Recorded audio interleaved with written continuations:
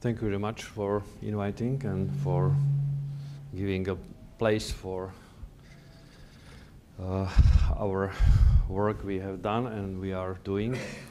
Uh, I'll try to make my presentation hybrid, the pictures in, in Slovak and, and try to explain in English. Uh, uh problematic of chronic disease is very wide and uh, there are many, many topics, but uh, we have chosen how we are trying to organize and implement screening of uh, oncological diseases. Why, why population-based screening program? Uh, we all know that uh, cancer uh, diseases in Slovakia are very frequent and in many diagnoses we are on the top of the list of uh, European countries or even among uh, world countries. And uh, so we, we are building on evidence-based uh, knowledge that in, in some cancer diagnosis screening is very effective and also cost effective that we should reduce not just uh, mortality from some of these cancer diseases, but also uh, incidence of invasive cancer, detecting pre-invasive stages. So we have chosen three diagnoses, uh, colorectal cancer, where Slovakia is second or third in Europe and also in, in the world's uh, epidemiology data.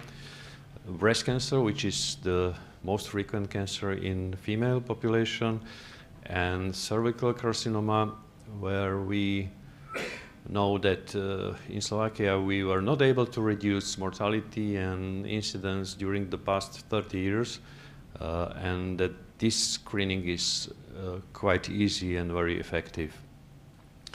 Why screening? Uh, because we know also from the evidence-based data that uh, uh, when some cancer diagnoses are diagnosed in early stage, the efficacy of therapy is excellent and many patients should be cured from their cancer. Also, it's, it's uh, much cheaper to diagnose and treat these uh, early stages of cancer. Um, we try to, or I want to present how we started our, our effort, how long it was, how difficult, how many people were involved in the process and that we still are just at the beginning of implementing these uh, screening programs. Uh, the debate about screening in the Slovak Republic is uh, long-lasting. It, it, started many years ago. Um, even in uh, 2008, there was uh, legislation uh, passed in, in uh, National Council about screening of uh, breast and uh, cervical carcinoma, but nothing was implemented. So two and a half years ago, we started with uh, looking for uh, breast cancer screening, starting to evaluate the mammography in Slovakia, uh, we have uh, organized the uh, committee for clinical audit, but then we decided that there is no legislation for support this audit, uh, clinical audit, that uh, there is no uh, place for making the, the committee. So we must go back to start to uh, implement the legislation as a first step. Um, we also created uh, working groups for uh, screening of all these three diagnoses and then working groups for each diagnosis. Uh, fortunately, we have we had the support of the Minister of Health and I must say, uh, much better support of uh, ministry minister uh, Kalavska, who was coming after the minister Drucker. So uh, this process uh, we started two and a half years ago uh, was I must say, very very complicated. I, didn't uh, assume that the, how should this process be be difficult and complicated. So uh, you see that uh, we uh, made the, uh, for example, working group for cervical carcinoma, but we were discussing what should be done with the uh, complicated and uh, not defined findings on the uh, cervical cytology, how to process in the diagnostic process. And we realized that we did not have the uh, expert experts for colposcopy who should uh, make this diagnosis uh, uh, in the process to make the diagnosis of cancer or, or just the, the uh, dysplasia. Um, the first uh, of the screenings we uh, definitely came to the end of the process was screening of colorectal cancer. And we uh, there are many, many different types of screening. Uh, they are done in different European countries. Uh, we had uh, already uh, opportunistic screening, which means that those those people who wanted to be to be to go for the um, prevention or preventive examination, they should. They, this process was covered by the health insurance companies, but it was not organized, it was not population-based, uh, and in this process we realized that we need also to build the structures, the structure uh, or the uh, institute where uh, we will be making the process, uh, checking the process, uh, making the evaluation of the process. So step by step, we must uh, build the structures, the legislation, uh, find the experts who will be involved in the process. So uh, we decided to make the pilot or, or first phase of screening of colorectal cancer. Uh, we have chosen uh, 20,000 uh, people from three, uh, we have in Slovakia three insurance companies. One is state-owned, the others, two others are private. So we, there were many meetings organizing this, this uh, first phase of colorectal screening, which we uh, started at January the 1st this year. Um, we realized that we must make the, the way of detecting the process and uh, uh, checking the results of the screening and making the evaluation of the screening. Uh, so uh, we need to cooperate with our Center of uh, Health Information. Uh, we created the uh, National Cancer Institute as a regulation and organization body of this screening process. Uh, another obstacle we, we found during our step was uh, new GDPR regulations that we, uh, the process which we had prepared few years ago was not possible to pass in the uh, activity because, because of these new regulations. Um, uh, for the colorectal cancer screening, we uh, chose the uh, three or maybe two different types of examinations. Uh, those who wanted to uh, go for colonoscopy, we, we let it as, a, as one possibility, uh, sigmoidoscopy another, but uh, as a uh, main test, we, we set the occult blood testing, which is easier, cheaper, and uh, safer than the other procedures. Um, uh, year ago, all these three population-based screening programs uh, went through the legislation process and we uh, set the organization structure.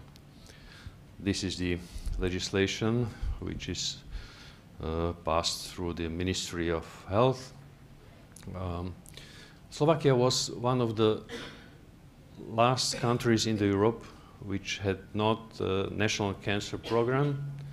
So this was another big issue we, we wanted to implement.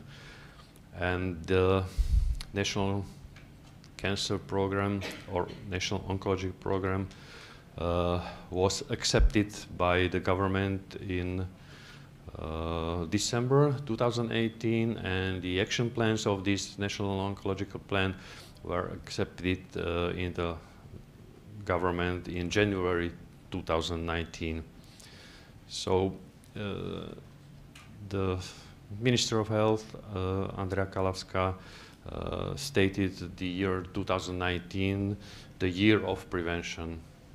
So this was the, the, the frame the, uh, for starting the, our screening programs.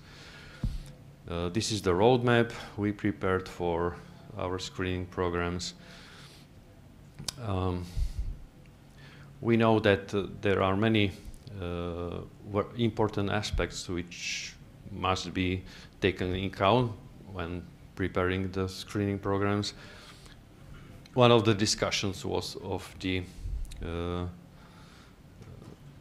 screening uh, of uh, cervical cancer screening, which methodology, which tests should be used. And we postulated that the screening programs or tests must be easy to perform, cheap, available, and that it must be covered completely by the health insurance companies. So again, we, we should uh, pass these, these uh, steps and we must uh, include this in the legislation frame. Um, also, uh, we were analyzing the capacity of, of our healthcare system and uh, also we were analyzing the, the uh, financial needs for cancer screening and we must demand the Ministry of Finance to, to uh, cover this, this process financially uh, through the uh, health insurance companies. Also, we started to promote these screening programs through media. Um, we cooperate with uh, uh, patients organizations and NGOs and also uh, with uh, general practitioners to move this this information through to their their patients. Uh, we know from other countries that this process is, is difficult, long-lasting, never-ending, and that it's very, very different in, in, in many regions and that uh, we must be prepared for all these obstacles through the, the process.